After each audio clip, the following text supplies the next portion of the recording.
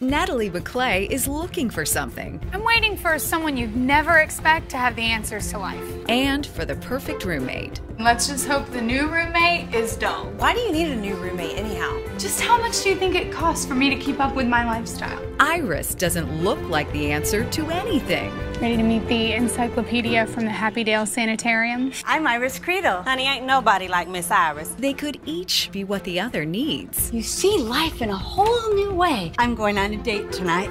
Well, clearly you need help. And uh, obviously, I'm the only one qualified to help you get ready for your date. Let's go. But I thought I was ready. This ought to be good. Where have I been all your life? Presenting the new Iris.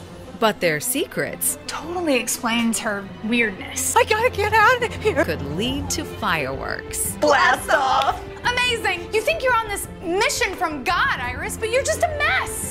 Everyone loves you. God only knows why. A touching story Thought she was my friend. of unexpected answers. You and your always helping. Do you think it does any good? It saves lives and saves hearts. So now you're a mender of broken hearts. I'm not, but Jesus is. That's some savvy profoundness right there, Moon. I'm so tired of the emptiness. I know someone that can fill that emptiness. I want what you have. It's just a relationship with him, that's what it is. There's a big difference between religion and relationship. At that moment, I realized who I could become. I figured out the secret.